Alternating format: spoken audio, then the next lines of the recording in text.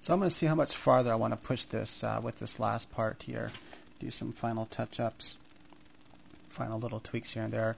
Um, you didn't get to see this part, but I added some. I just used the highlight tool on, well, not the highlight tool. What's it called? The um, dodge tool on midtones, and I just highlighted this where some of the bone would show through. I'm going to take my meat texture once again, drop it in here. Go ahead and set this to uh, color burn.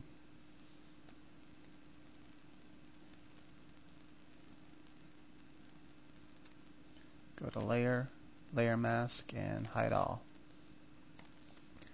So what I'm going to use this for now is blood. I want a bunch of blood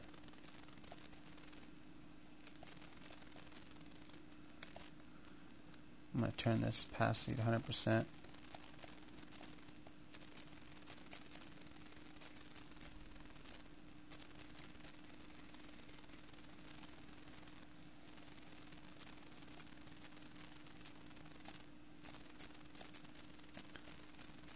So I'm thinking kind of splotches right there.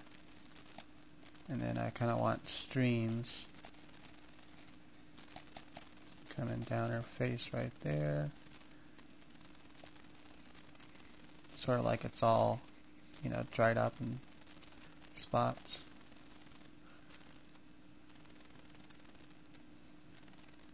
Cool. Now I'm going to have some blood in here. And I'm to, I think I'm to do that uh, flap of skin right there.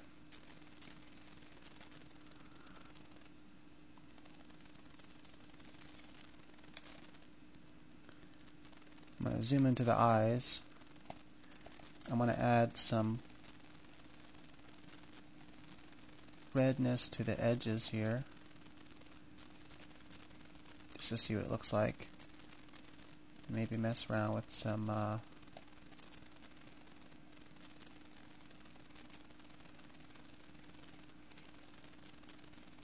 veins.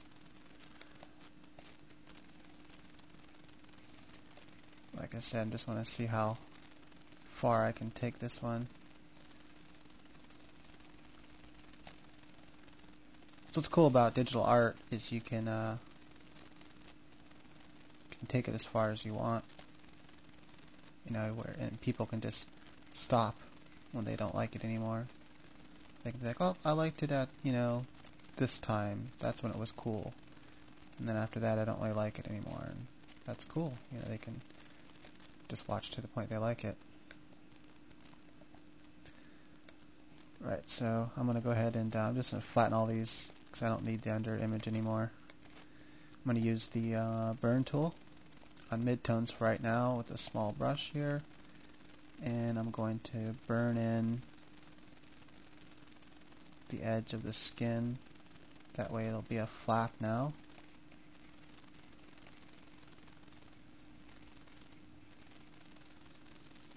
And I'm still kind of want some of that there, and the reason why, I'm going to go to my regular brush and add some of this color back.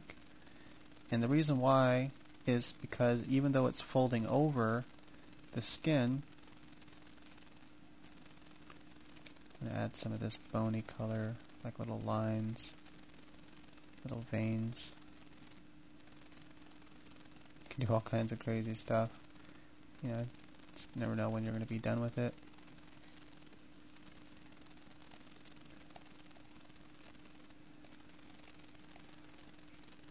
add some of this black. Now I'm just painting with regular paintbrush right now.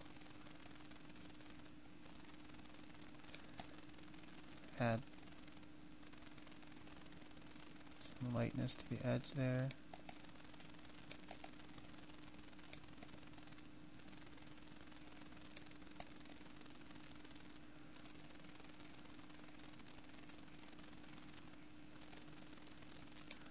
So I'm to see I need some of these lines to go all the way over so it gives the illusion that this skin is flapping all the way over. Works. Okay, then for the blood also I want to add some specular. Not much, but I just want to add a little bit of specular, you know, only with some of the blood that would actually have some of that left, but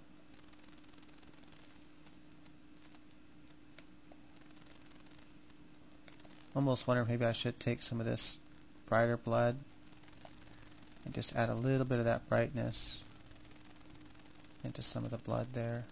Go back to this bigger brush.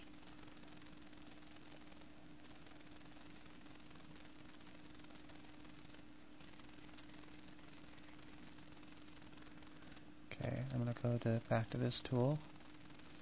Add some more uh, texture to the skin here. Might have a little bit of veins right on the edge where the bone meets. This is just all about texturing out, just get the last little bit of details. And there might be a little bit of texture for the around the blood, you know, to get some shadow. I want it to kind of stick out a little bit.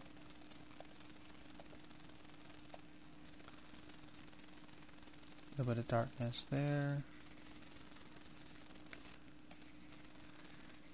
I'm just going to add a little bit of texture on the edge where the bone meets the thing where the bone meets the skin because I don't want it to be too uh, smooth.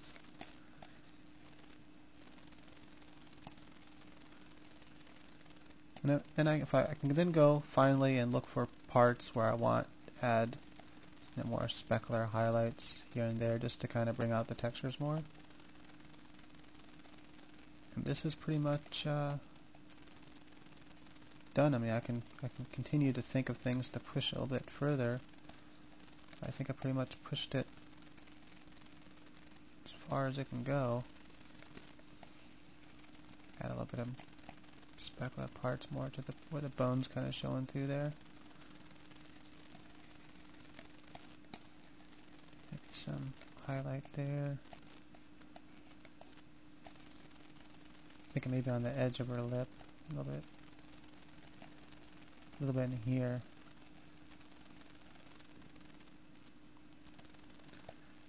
If I wanted to, I could add some veins and stuff down in here.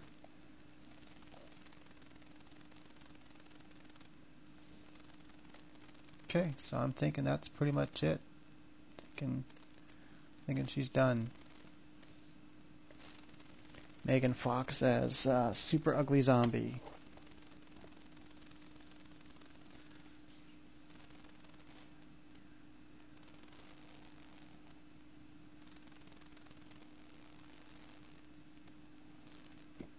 Can use these kind of techniques, you know, using different kind of textures and stuff, and using a lot of techniques I just use now to make this, and you can use it to make different things. Um, you know, just really, it's it's unlimited. There's just all kinds of cool things you can do. You can make beautiful textures too, beautiful overlays, using yes, scales, using cat parts. You know, you can make cat person, using scales to make mermaid. It's just it's really it's really unlimited and. Uh, Anyway, what I would like you guys to do, since I did decide to go ahead and uh, put all these parts up for free, I was going to only have like part one or two up for free, and then the rest, uh, all the parts for download for like five dollars. What, what I want you guys to do to tell me now is what should be my next project for download. You know, it'll be a five dollar download. It'll be something like this, but it'll be what you want. Um, maybe a cool fancy mermaid or you know, some other type of fantasy creature, maybe cat person or something. And I don't mean cat person with just ears, but like a full-on cat person, like cat face and everything. You know, cat eyes and like kind of like a Beauty and the Beast kind of thing. So anyway, let me know what you guys would want and what you guys would like. You know, what you guys like the next download for five dollars to be the next download series, and I can do it. All right, so that's it. Go ahead and check out Digital Canvas for more free videos. And I hope you enjoyed this and leave comments and everything. Let me know what you think.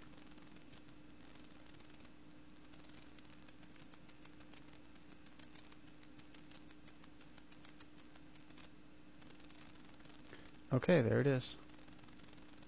That was just a quick uh, an tween animation I did with the animation part in CS3 of Photoshop.